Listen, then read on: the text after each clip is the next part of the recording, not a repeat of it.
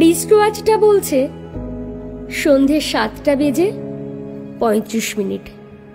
ভিক্টোরিয়ার সামনে, স্ট্রিট লাইটটার আবছা আলো। তোর চেনা থুতনিটা ক্রমশ অচেনা হয়ে উঠছে আমার কাছে। মনে হচ্ছিল, এই অর্ঘ্যকে তো আমি চিনি না। এত টাফ আমার অর্ঘ্য। চোয়াল শক্ত করে আঁচ করেছিলাম ঝড়ের পূর্বাভাস। ঝাঁ চকচকে পরিচিত রাজপথ যেন তমসাচ্ছন্ন। বাড়ি ফিরে এলাম। এতদিনের গভীর সম্পর্কে তাহলে কি বিরাট কোনো ফাটল? সাত পাঁচ ভাবতে ভাবতে কখন যেন রাত পেরিয়ে গেছে। পরের দিন ভোরবেলা বেজে উঠল ল্যান্ডলাইন। কানে ধরতেই তোর ঝাঁঝালো কণ্ঠস্বর। একটা মাত্র শব্দ খরচ করেছিলাম। আচ্ছা আজ আমি সাকসেসফুল সিঙ্গেল মাদার। তুই কি ভেবেছিলি? তোর দেওয়া মাংসপিণ্ডটা আমি নষ্ট করে ফেলব। আমি অমানুষ ছিলাম না। আজ বুঝি তুই আসলে আমার যোগ্যই ছিলিস না।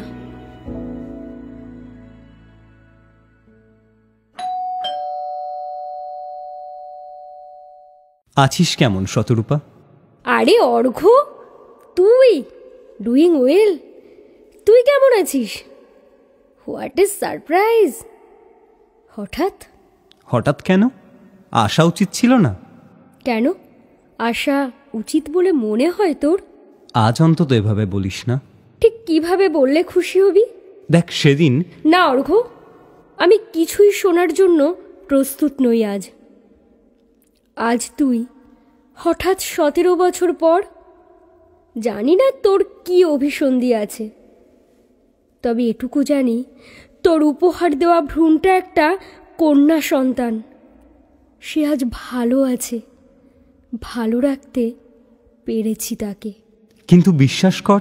আমি সেই শতরূপা নেই আর। তাই বিশ্বাস করার প্রশ্নও নেই অর্ঘ্য মানে? মানেটা খুব সিম্পল। বিশ্বাস করা ছেড়ে দিয়েছি। Rupa? Shatarupa.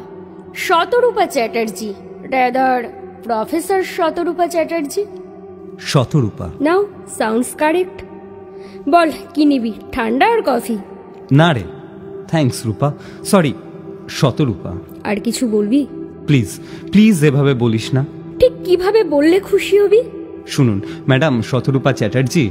বলুন মিস্টার অর্ঘ্য সেন শতরূপা আমাকে শেষ কিছু কথা বলে যেতে দে। বলে ফেল। সেদিন ভিক্টোরিয়ার আবছা আলোয় তুই যে অর্ঘ্যকে দেখেছিলিস তা ছিল অভিনয়।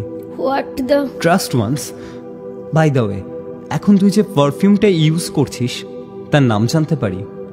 Not important but let me continue okay carry on your story this is truth not the so called story তোর মনে আছে নিশ্চয় আমাদের দোতলা বাড়ির গ্রাউন্ড ফ্লোরে সদ্য একটা সুগন্ধির গোডাউন করেছিলাম। Yes true I remember then ভিক্টোরিয়ায় শেষ দেখা করার দিন সকালে একতলার গোডাউনে হঠাৎই আগুন লেগে যায়।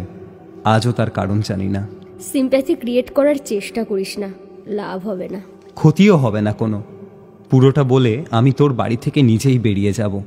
তারপর ডাকলেও আর ফিরে আসব না।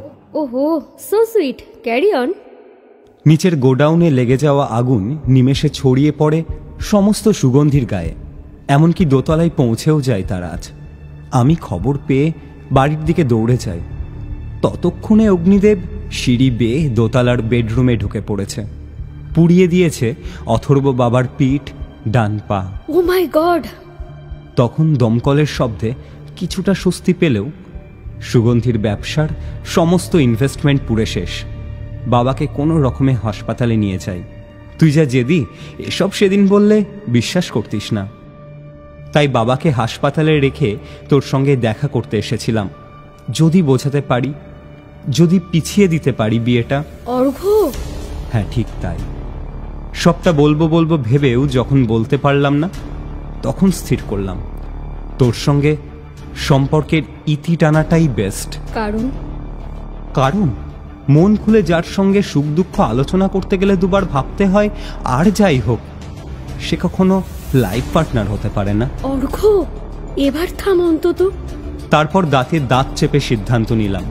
পরের দিন সকালে হাসপাতালে পৌঁছে দেখলাম সুগন্ধির সুগন্ধে বাবা তখন অনন্ত লোকের পথে যাত্রা করেছে। মা হারা আমার পকেটে কানাকড়িও নেই। কপরদকহীন হয়ে তোকে শেষবারের মতো ফোন করে জানিয়েছিলাম। আচ্ছা। বেনিয়াটোলা লেনের বাড়ি ছেড়ে উঠে যায় চন্দননগরের মামার বাড়ি। তারপর? তারপর? সমস্ত পুড়ে যাওয়া স্বপ্নগুলোকে জড়ো করে শুরু করি নিজের পারফিউম ফ্যাক্টরি আবার? হ্যাঁ আবার। প্রায় সতেরো বছরের জার্নি। আজ তোর বাড়ি ঢুকতেই আমার কোম্পানির তৈরি পারফিউমের গন্ধ নাকে আসে। তাই তোকে পারফিউমের নাম জিজ্ঞেস করি। এটা আমার latest addition the last ignition তারপর? তারপর? আজ আসি। অর্ঘ অর্ঘ প্লিজ স্টপ অর্ঘ থাম অন্তত এবার। অর্ঘ প্লিজ স্টপ অর্ঘ